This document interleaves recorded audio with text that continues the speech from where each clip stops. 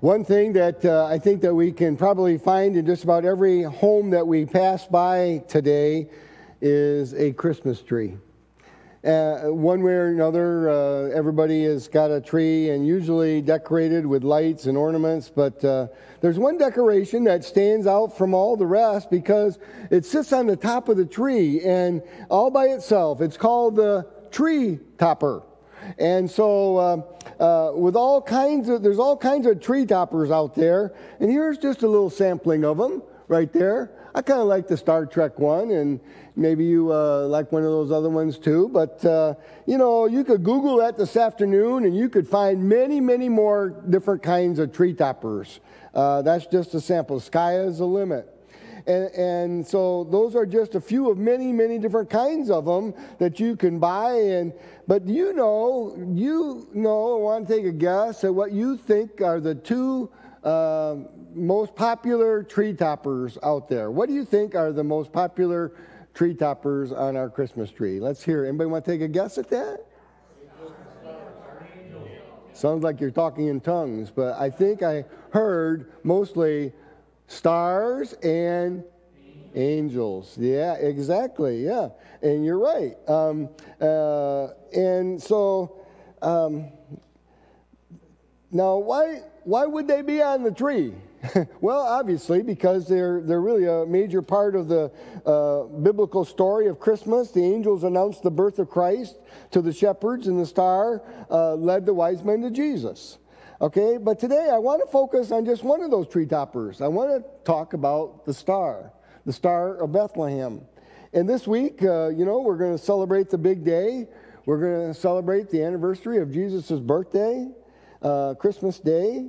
Uh, through this month of December, we've been on a journey following the star that guides us to Jesus and the gifts that he brings into our life gifts like hope, gifts like joy, gifts like love and, and uh, peace. And these are the things that um, we all desire in some measure, and they tie in with the salvation that Jesus brings. As it did so long ago for the wise men, so the star does the same for us, pointing us and directing us, guiding us towards Jesus. And today we're going to be following the star to Christmas. It's kind of amazing that God chose a star, a star to guide the wise men to Bethlehem. And, and throughout the Bible, really, uh, we see how God uses his own creation to reveal himself to us. The psalmist put it beautifully in Psalm 19. I love Psalm 19, which says, The heavens, the heavens declare the glory of God and the skies proclaim the work of his hands. Day after day they pour forth speech. Night after night they reveal knowledge. They have no speech. They use no words. No sound is heard from them. Yet their voices, their voice goes out into all the earth, their words to the ends of the world. And then even in Psalms chapter 8, uh, verses 3 and 4 says, when, you, when I consider your heavens, the work of your fingers, David speaking about God and his creative work. When I speak of the heavens and the work of your fingers, the moon and the stars, which you have set in place, what is mankind that you are mindful of them? Human beings that you, that you care for them. God's glory is seen in the stars. And God has placed each one of the stars into the sky where there was only darkness at one time. Now there is this, this gleaming, glittering light. Our Creator knows each of those lights. He does. And he even knows them by name. He knows which ones humans will eventually kind of try to connect with an invisible line uh, uh, into constellations like we see the Big Dipper or, or, one of the other constellations. He knows which ones will burn out and, and when they're going to burn out, and, and, which ones will streak across the sky uh, like a falling star. And God knew the one star that would one day pulse and glow and serve as a beacon to lead and direct seekers from afar to his newly arrived son, Jesus. Yeah, this star would pierce the darkness with a unique purpose. It would signal the birth of Christ, the coming of the long promised Messiah, who, in the fullness of time, at just the right time, think about that, God sent forth his son. He came to earth to change the course of eternity forever. When you look at the stars uh, uh, in the nighttime sky, or when you see the twinkling lights of, a Chris, uh, of Christmas around town, uh, uh, maybe outside somebody's lights, or maybe in your own Christmas tree this, this year, uh, in the next few days, I want you to let the star lead you to Christmas. I want you to remember that song by Sidewalk, Sidewalk Prophets, Don't Forget the Star. Yeah, we're going to play that as we conclude here today. Um, don't forget the star.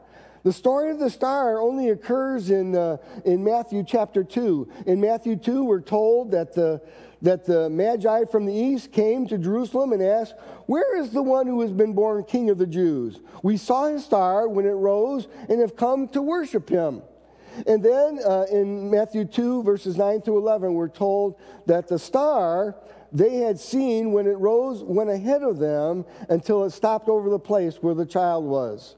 And when they saw the star, they were overjoyed. On coming to the house, they saw the child with his mother Mary and bowed down and worshiped him. And then they opened their treasures and presented, to, presented him with gifts of gold and frankincense and myrrh. Now, scholars have they disagree about what type of star this was. Some believe that maybe it was just a, a meteor or uh, others have thought that maybe it was a comet. Still others have speculated that the star was maybe uh, a supernova, uh, which was just a, an exploding star.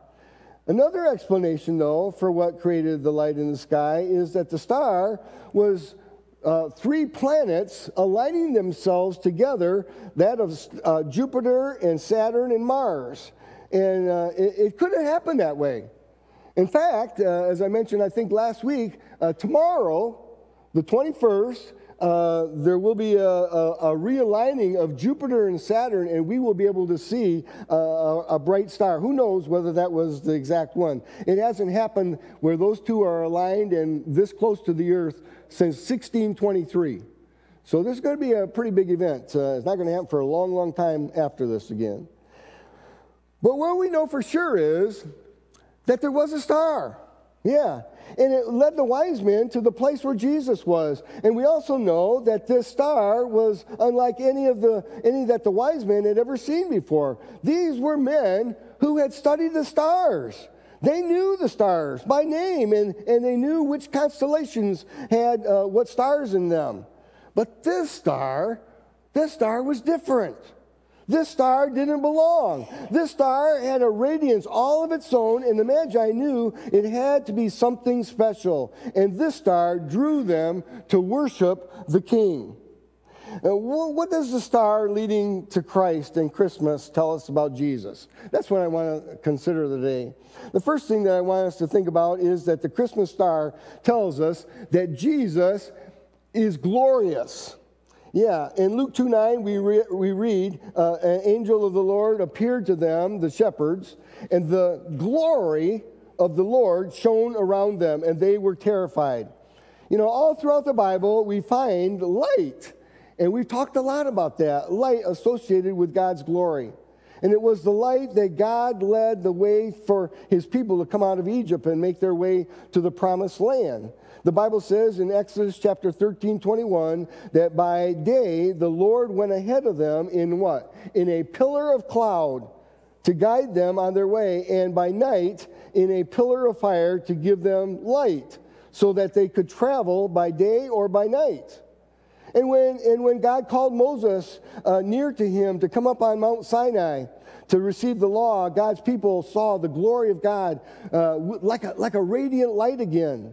Exodus 24, uh, 15 through 17 tells us when Moses went up on the mountain, the cloud covered it, and the glory of the Lord settled on Mount Sinai. For six days, the cloud covered the mountain, and on the seventh day, the Lord called Moses from within the cloud. See, even when Moses came down, the people saw the, the glory of the Lord on his face because he was in the presence of the Lord. And so the Israelites, uh, to the Israelites, the glory of the Lord looked like a consuming fire on top of the mountain. And then Jesus, when he was transfigured uh, 1400 years later in the presence of uh, uh, James and John and uh, Peter, the Bible says in Matthew 17 2 that Jesus was transfigured before them. His face shone like the sun, and his clothes became as white as the light. You know, that doesn't surprise me. And why not? Hebrews 1 tells us that Jesus was, the, was uh, the radiance of God's glory and the exact representation of his being. And so that doesn't surprise us. And in Revelation 22 16, Jesus says of himself, I am the root and the offspring of David, the bright morning star. Yeah. The star of Christmas testifies to the glory of Jesus and it points us towards Him to give Him our worship. The Apostle John speaks of Christ's glory in, uh, in, in John 1, uh, verses 4 and 5, when he writes this In Him was life, and that life was the light of all mankind. The light shines in the darkness, and the darkness has not overcome it. You know, I heard this about a family that uh, loved Christmas and they especially loved decorating uh, uh, for, for Christmas. And whenever they decorated a tree, the final touch of pride for them was a, a star ornament that, that, that lit up. And then one year, when they were decorating their tree, they placed a star on it, but the star didn't light up like, like it used to. And so the family was sad about that. They, they said, uh, but, but since it no longer uh, lit up, they removed it and they stuffed it in a box and somewhere uh, out of sight.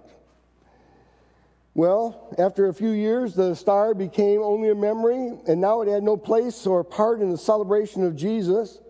But when the Christmas, uh, but, but then one Christmas, the father picked it up from the box and he, he fixed that light. And the family was delighted, and once again, it became the, the cherished decoration on their Christmas tree in celebration of the Savior. That story, that story reminds me that Jesus is glorious.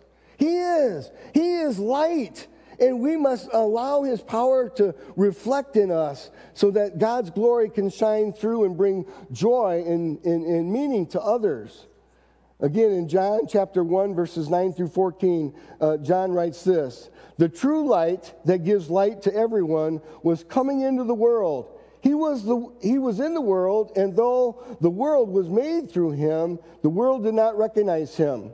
He came to what he came to that which was his own, but his own did not receive him. Yet to all who received him, to those who believed in his name, he gave the right to become children of God. Children born not of natural descent, nor of human decision, or of a husband's will, but born of God. The Word became flesh and made his dwelling among, among us. We have seen his glory, the glory of the one and only Son, who came from the Father, full of grace and truth. Here's the question are you allowing God's glory to be reflected through you as, as uh, his light? Uh, uh, has his light gone out in you, even maybe during this, this time of COVID? You know, God wants to use each of us as instruments of his glory and grace, but are we willing to do that? Are we willing to acknowledge him and recognize Jesus as the light of the world? Who takes away our guilt, who takes away our sin, so that we can reflect his glorious good nature. What does, what does his glory look like that we might reflect it in our life? Well, it looks like love and it looks like joy and it looks like peace and it, it, looks like what we've talked about the last three weeks. It looks like patience. It looks like kindness. It looks like goodness. It looks like faithfulness and gentleness and self control. Jesus is glorious, and these are the ways that we can reflect him in, in our life. The second thing that the, that the uh, star that leads us to Jesus reminds us of is that Jesus will guide our life in John 8 12, Jesus says, I am the light of the world. Whoever follows me will never walk in darkness, but will have the light of life. You know, you might wonder, well, how, how does that work? How do I follow Jesus today? How do I follow Jesus today? You know, contained in this book right here Yeah, the Bible is God's message to you, it's His love letter to you. It really is, to every one of us. But it can show you how you can flourish in life. If we do the actions that we read in, in that book, you know what? Um, we will be shining as, as God intended for us and, and using His light uh, as, he, as He intended. Sometimes we're like, you know, how does God, how come God's letting me go through this? Or why is my life always full of, of problems? I want to see I want to see things go more smoothly. Well, you know, I think we go back to this book, and I think there's something very simple here in Psalm 119, verse 105, where David says, Your word, he says, God, your word is a lamp unto my feet and a light unto my path. He will guide our lives. The Magi, the wise men, were men obviously acquainted with all the messianic prophecies about Jesus, Jesus' coming, which, which by this time had reached far off, far away places, and they had faith in them. They were men who knew something about God's holy scriptures and the message within it, and, and they had faith in it. They allowed God to guide them. They read God's word and they surrendered their personal plans to be a part of God's plan. They sacrificed. Think about that. In the search of the stars that led them, they sacrificed time, they sacrificed energy, they sacrificed personal uh, resources to make their way to worship Him in all of His glory and to be guided by Him. Well, there's one more thing that the star tells us that leads us to Christmas, and that is that the Christmas star tells us, I am somebody. I am somebody. Counselors today advise us to develop a positive self image and self worth. They insist, you are important. There's no one like you. You have a unique set of fingerprints. You are special. And that's true. We are. Parents go a little bit farther sometimes because they tell their children, well, uh, you know what? You can be anything you want to be uh, because you are somebody. Well, that may not always be true because look at this example. If Shaquille O'Neal's mother told him, you know, you can be a jockey and you can win the Kentucky Derby someday, that wouldn't be true because he's seven foot one and 324 four pounds, and uh, you know he's going to weigh his he's going to weigh his horse down. Um, but you know what? If Pat Day uh, Pat Day is a renowned jockey who's, I think, won four or five Kentucky Derbies, six or seven. Uh, and, and, his parents told him, you know what? You can be a center for uh, one of the basketball teams on the National Basketball Association someday. You know, that really wouldn't be very realistic because Pat Day is only four, four feet, 11 inches, and uh, barely 100 pounds in weight. Yeah, let's face it, sometimes we don't feel very important.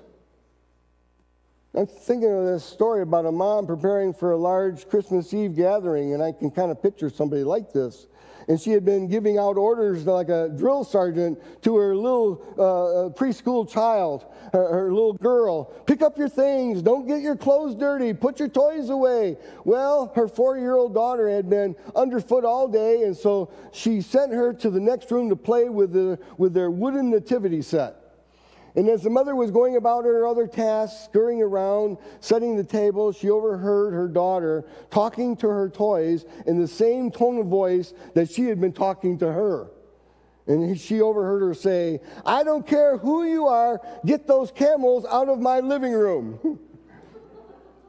well, sometimes we just feel like we get pushed around, don't we? Here's an unpleasant truth. Apart from God, you know, I am not very important. I don't really matter much at all. I'm just one in six billion people temporarily living and alive on this planet, which we call Earth, a, a tiny blue dot on, in, in God's great, vast universe.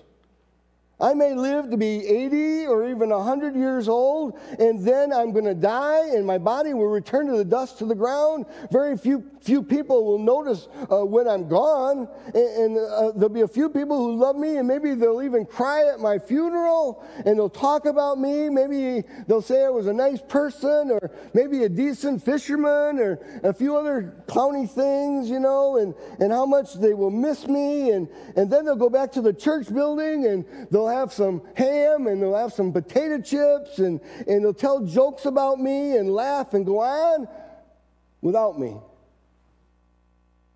A hundred years from now, you know what? Chances are most of our names won't even be spoke again on this place called earth. In James 4 14, the Bible says, What is your life? You are just a mist that appears for a little while and then vanishes. But when the light of Jesus enters our life, we have a divine calling and, a, and an eternal purpose. He not only forgives our sins through his atoning sacrifice on the cross, but he also transforms us from being nobodies to being children of the creator of the universe. Think about that. Listen again to John, 1 John 3 1, where, where John says, uh, How great is the love the Father has, has lavished on us that we should be called children of God, and that is who we are. In 2005, there was an auction in London for a tooth. Yeah, I said a tooth. A tooth that went up for sale. And somebody bought that tooth for $22,600. And if you're like me, you're thinking, wow, you know, uh, I only got a couple quarters when I put my tooth under my pillow at night, so what's the big deal? Who would pay all that money for a yucky old tooth? Well, it turns out that the tooth was pulled from the mouth of none other than Napoleon Bonaparte. And during Napoleon's exile in 1819, and the auction officials displayed papers that traced the tooth all the way back to the dentist that pulled it out. Now, listen. What made the, the, that tooth valuable was to whom it was connected. We're not of much value on our own. That's why Jesus said, Apart from me, you can do nothing. But when we're connected to Christ through faith and baptism, we become a part of the body of Christ. We have external uh, significance because we have been adopted into the family of God. It's who we're connected to. We've also been entrusted with the, the crucial assignment of taking the gospel to the world. We become somebody important, not because of who we are, but because of to whom we belong. Are you with me? So, one of the joys of Christmas is the star's reminder that, like the, the first century wise men, we matter to the God of the universe. And I love the way Peter said it, the way he stated it in 1 Peter chapter 2, verse 9, where he said, You are a chosen people. That's us. He said, You are a royal priesthood of servants of God. That's us. He said, You're a holy nation of people belonging to God. That's us. A special possession. That's us. That we may declare the praises of Him who called us out of darkness into His marvelous light. We matter. We matter to the God of the universe so much that he gave Jesus to die for us, the light of the world, of the world so that we could be light to the world today. I'm going to ask that you pray with me, and I've got some more things to say, one more thing to say after our prayer, though. Let's pray. Heavenly Father, I'm thankful. I'm thankful that Jesus is the light of the world, that we don't really matter. Uh, we would be nothing without you. We can do nothing without you as a part of our life. And there may be somebody here or somebody online watching it today that uh, needs your light. They need to know and they need to understand that you really are uh, concerned about us. We matter to you. you love us and you loved us so much that you sent Jesus. And that's what, that's what this story is all about that we're celebrating this week. His birth and his purpose for coming was for us and our salvation. And now you've called us while we have a few, few moments left here on this earth that you want us to be your light in our dark world. Lord, I, I just pray that you'll help us to see the light today. Lord, I'm thankful. I'm thankful that uh, Jesus let, light, lighted, lit the way for us. Lord, thank you. I, I pray that we'll take to heart what we've heard today when we realize, when we celebrate Jesus' birth again this week, that you have called us now to be your light in our dark world. Thank you, Lord, for these things. I, I pray that you'll help us to appreciate and have a greater love and, and, a, and appreciation for your story, your love story to us and what you did for us by sending Jesus. I pray in Jesus' name. Amen. This week I was reminded of the uh, song by Casting Crowns that's out right now called uh, Make Room in Your Heart. Maybe you've heard it. It's, uh, it's really neat because the song tells about Jesus' birth. It talks about Jesus' birth and why God sent Jesus. And then the chorus says this Is there room in your heart? Is there room in your heart for God to write his story? Is there room in your heart for God to write his story? You can come as you are, but it may set you apart when you make room in your heart and trade your dreams for his glory. Make room in your heart. Make room in your heart. Make room in your heart today. Boy, if there's something that we need here, every one of us, maybe we need to redo that today. Make room in your heart today for Him. If you've never made Jesus and given Him the room in your heart that He deserves and wants, um, to be on the throne of your heart, you know, I'm going to encourage you to do that even today, to make him your personal Lord and Savior, Savior and Lord.